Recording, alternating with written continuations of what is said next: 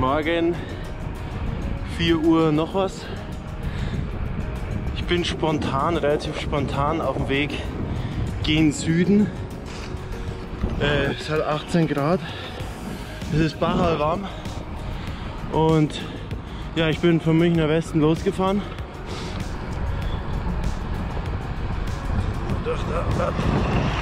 Bin vom Münchner Westen losgefahren Richtung Berge, Kochelsee erstmal. Und ja, ich wollte mir eventuell das Zimmersjoch anschauen. Genau. Also radel ich mal so dahin. Ein bisschen zu schaffen macht mir, dass meine guten alten Schuhe kaputt gegangen sind. Ich mir neue kaufen musste und es konnten nicht die gleichen sein, die habe ich nicht mehr gefunden. Jetzt habe ich mir ganz neue Schuhe kaufen müssen. Ja, und ich glaube, die sind mir zu eng. Verdammte Scheiße, ich habe so einen komischen Krüppelfuß. Naja, genau. Es ist leichter Gegenwind und ansonsten, es riecht wunderbar und schön ist.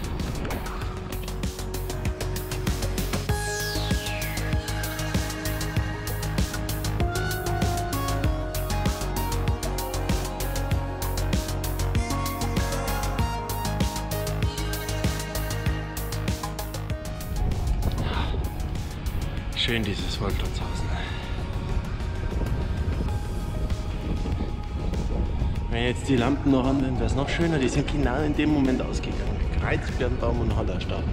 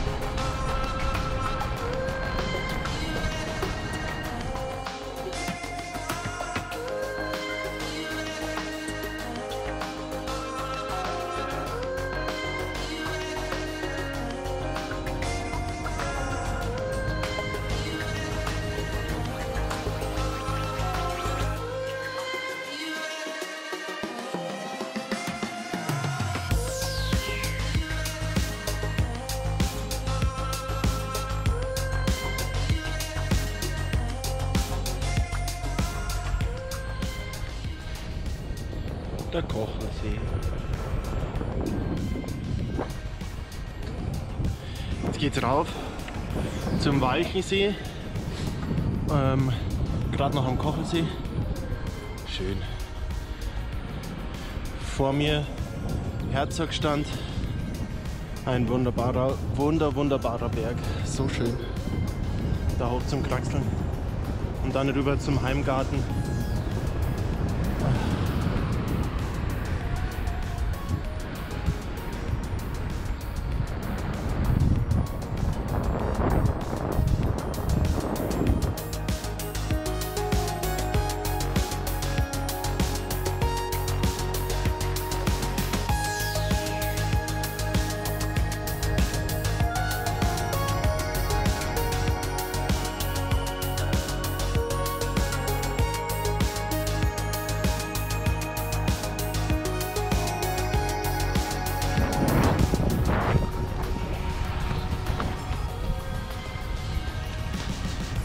Glaube ich lassen.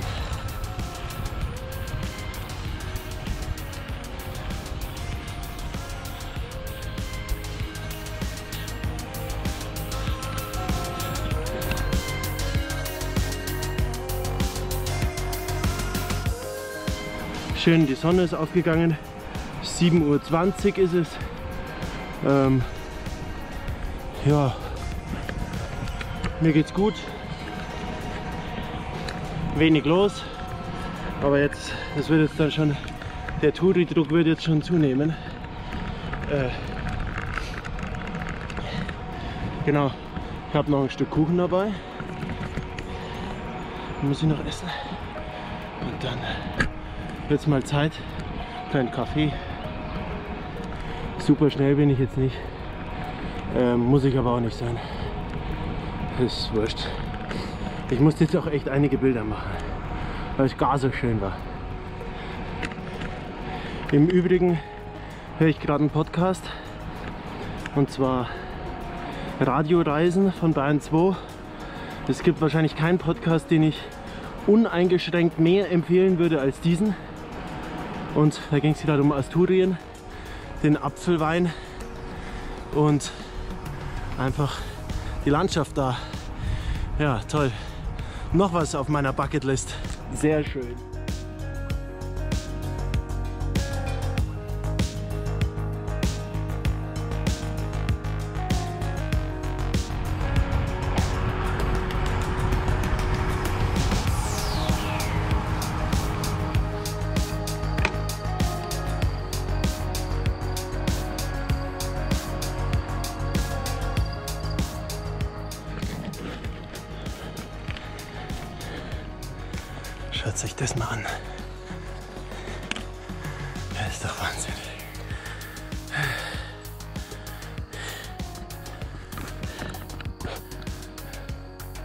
Doch ein Traum.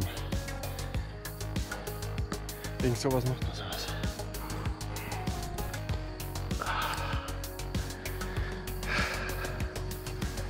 Jetzt bin ich vor Mittenwald. Das ist einfach perfekt.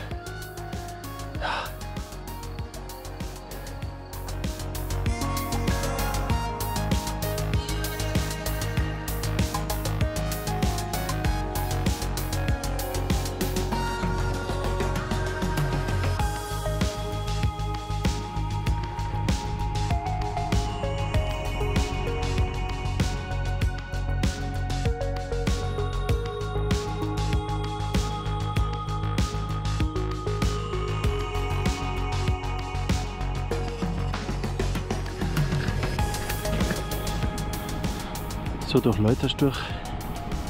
Jetzt geht es hier schön entlang dieser wunderbaren Kulisse. Von hinten, da komme ich. Servus. Geht es da schön entlang, entlang der Kulisse. Keine Wünsche offen, würde ich sagen. Gar keine.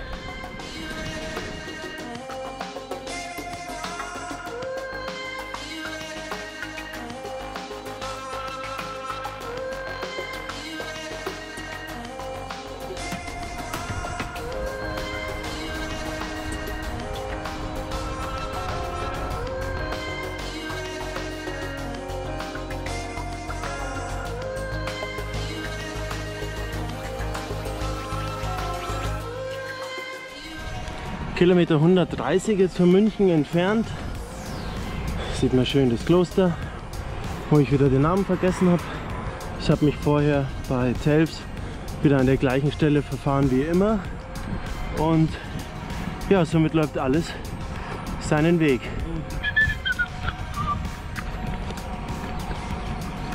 Es zieht ein bisschen zu. Da hinten, da wo ich hin muss.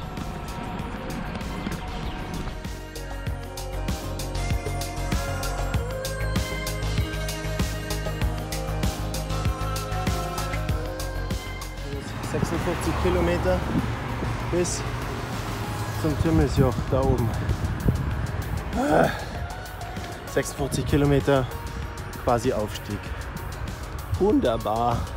Mit ekelhaftem Verkehr in diesem, zumindest zu Beginn, nicht allzu schönen Netztal. Gewaltig, was da für Wassermengen herschießen. Leck mich am Arsch.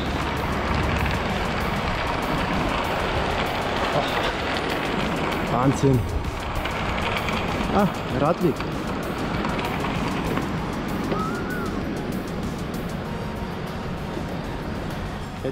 Hier ist wieder schön. Sehr schön. Und ich habe jetzt gerade ein bisschen gegessen. Ähm, einen Apfelstrudel, einen warmen. Und was gab es noch? Äh, eine Wurstsemmel. Und ja, gerade gut war's. Kaffee habe ich auch einen getrunken. Ich glaube, dass ich jetzt seit siebeneinhalb Stunden unterwegs bin. Kilometer sind jetzt wirklich nicht so der Wahnsinn. Die ich seitdem gefahren bin, irgendwas mit 150 vielleicht.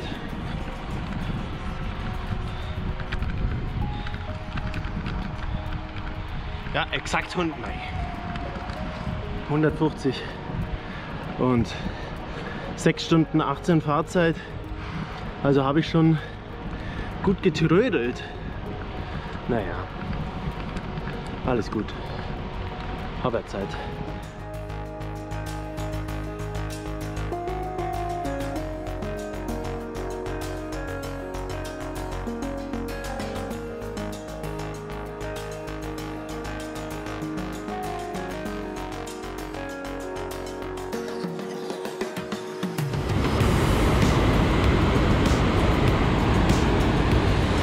Du Damisch.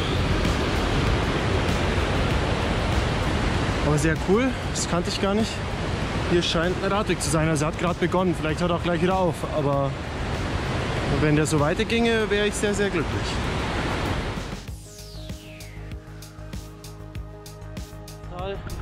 Da hinten sieht man schon ein paar Kaliber. Soweit ich mich erinnere, ist das aber nicht das, wo der äh, Timmelsjoch drauf ist. Ich glaube, dass das nochmal eine Biegung dahinter ist. Ist ja dann dieses Hochgurgel und auf der anderen Seite ist dann das Schnalztal und so. Äh, genau, das dazu, zu meiner Ahnungslosigkeit. Ich bin jetzt bei Kilometer 167, ähm, hab konstanten Gegenwind. Man sieht es jetzt hier vielleicht. Es ist zum aus der Haut fahren. So schlimm ist es nicht, aber könnte auch Rückenwind sein. Die Sonne ist ein bisschen zurückgegangen. Schade. Ist trotzdem recht warm, irgendwie 20 Grad hat es locker. Und ja, meine Füße tun mir total weh. Ja, ich muss leider die Klettverschlüsse aufmachen. Die drei ähm, beziehungsweise extrem locker machen, weil sonst ja, schnürzt mir alles ab. Und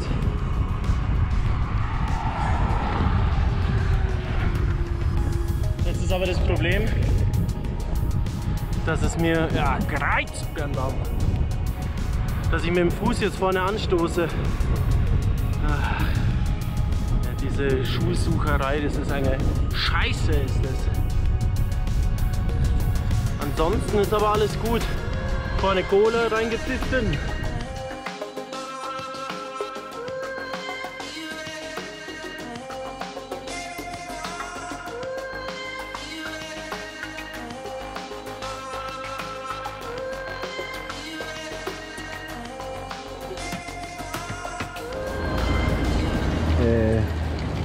Dieser Wind so beschissen ist. Also braucht man sowas als Gegenwind eigentlich, oder wie, wenn man Berg hochfährt. Macht eigentlich keinen Sinn. Braucht man nicht. Kann einfach aufhören.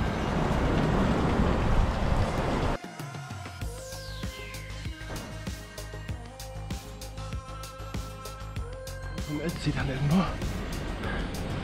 Ja. Ist irgendwie so geil, wenn man weiß, dass man gerade mit dem Radl sowas überbrückt hat, da drüben Italien sieht und all diese Sachen, wo man sonst mit dem Auto halt hinfährt und das nicht eine, Stunde, eine stundenlange äh, Nummer und das nicht eine Autofahrt ist, die nur eine Stunde dauert oder so, sondern ja, also mit meinem Auto, mit meinem 26 Jahre alten VW-Bus. Nun ja, das dauert länger, du.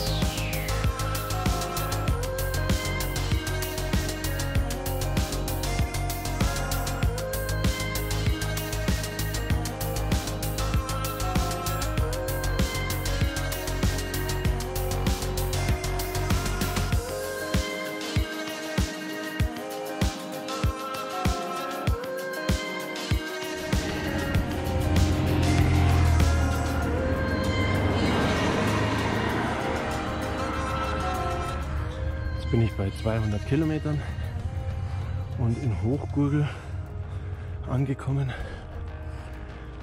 Das ist so die letzte Hotelanlage da und die Mautstelle dann fürs Zimnisjoch an sich. Das Ötztal da unten. Wunderbar. Da hinten nochmal die Gletscher. Auch wunderbar. Und jetzt ist hier richtig schön ruhig. Und was gerade ganz cool war, ich habe schnell angehalten, um angehalten, um noch ein Getränk zu trinken, was ich noch dabei habe. Und dann ist auf einmal ein anderer Radler direkt bei mir. Und der ist gerade vorher, ist mir entgegengekommen. Ja, hatte mich an meinem Trikot erkannt und ein bisschen quetzt. Und der ist heute auch schon gut, gut geradelt, irgendwie von Zwieselstein hier hoch nach St. Leonhard in Passaya und wieder zurück. Also Respekt. Ja. Genau. Kleine Anekdote. Freut mich immer sowas.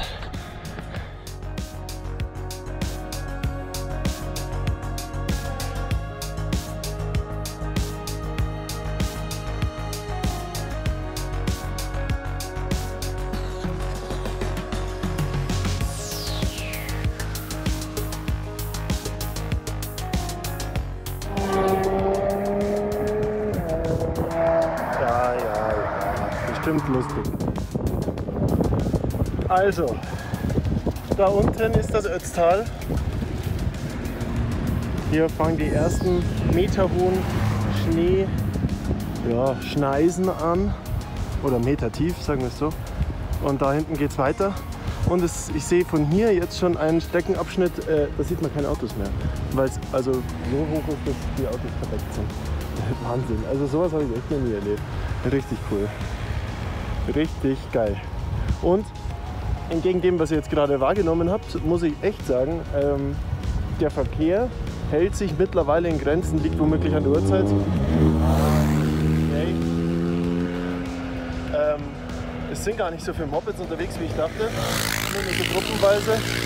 Und ähm, so richtige so Karawanen an äh, 911er und keine Ahnung, M5 oder was auch immer, wie ich das letzte Mal hier gesehen habe, sind auch nicht da.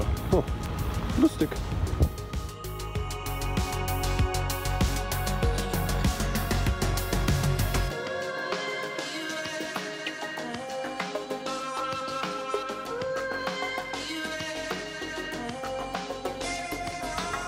Ein Hotspot für Radler, so wie es ausschaut.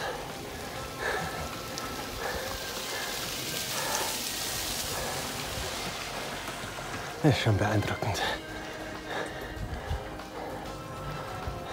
Servus.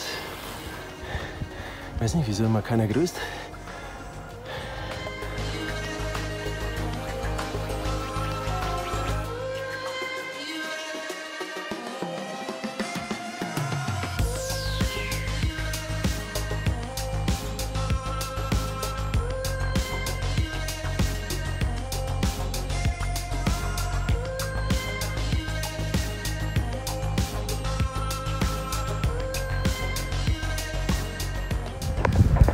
Südtirol kommt der Regen.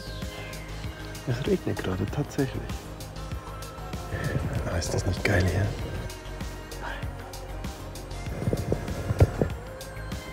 Ein Wohnmobil, da sieht man mal, wie hoch dieser scheiß Schnee ist. Das ist Wahnsinn. Und jetzt muss ich los. Der Apfelstrudel hat sehr, sehr hervorragend geschmeckt. Meine Empfehlung. Und ja, sonst. Espresso war okay. Cappuccino war okay. Italienische Verhältnisse da.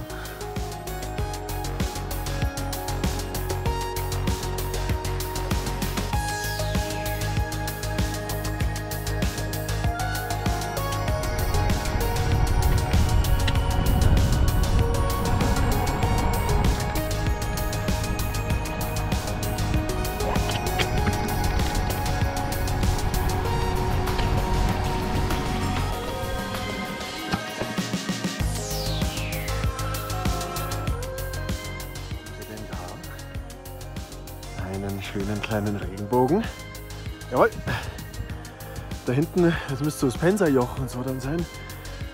Da regnet gut. Und hier auch noch ein bisschen. Aber ah, geil, ein Regenbogen im Gebirge. Unter einem. Was ist das denn? Sieht man selten. Wunderbär.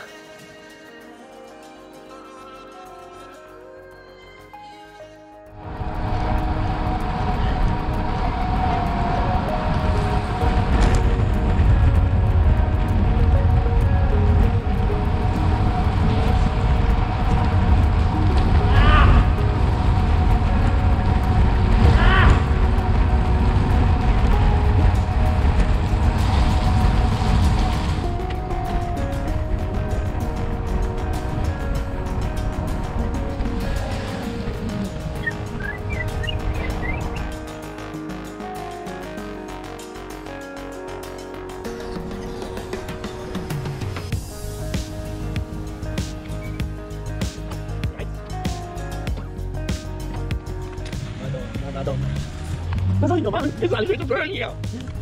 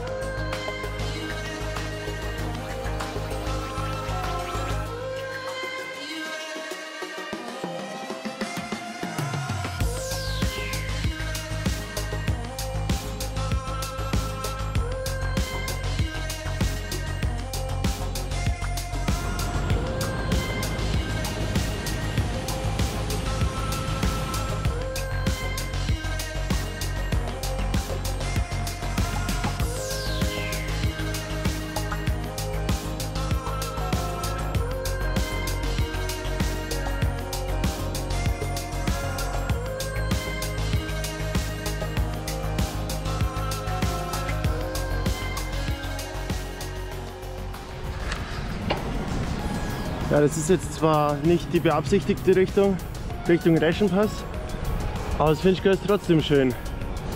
Wieso fahre ich jetzt in diese Richtung?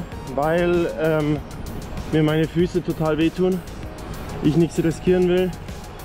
Ähm, hab, mir tut mein Außenbereich von meinen Füßen saumäßig weh und die Zehen auch. Und ja, ich habe einfach scheiß zu kleine Schuhe angehabt jetzt halt auf der Tour. Musste die deshalb bei der Bindung lockern. Und Ähm, deshalb bin ich immer nach vorne gerutscht mit meinen Zehen und habe die ganze Zeit mit meinen Zehen, ja, die Zehennägel haben sich wahrscheinlich in den Fuß reingerammt, so also übertrieben ausgedrückt. Da riskiere ich jetzt nichts. Außerdem ist der Fuß, sind die Füße ein bisschen geschwollen. Genau. Deshalb ist jetzt nächster halt Espresso in Meran und der zweitnächste halt vielleicht nochmal einer irgendwo und der drittnächste halt ist dann Bozen. Da schaue ich, dass ich ein Zugticket nach Hause bekomme. So, ich komme ein bisschen vor wie ein Alki. Und das zweite Standball weg. Aber damit man auch ein bisschen was zum Essen hat, eine Marille dazu. Gell?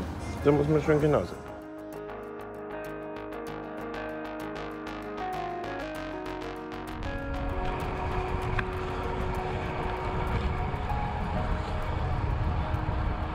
So, das ist jetzt wahrscheinlich die letzte Videosequenz.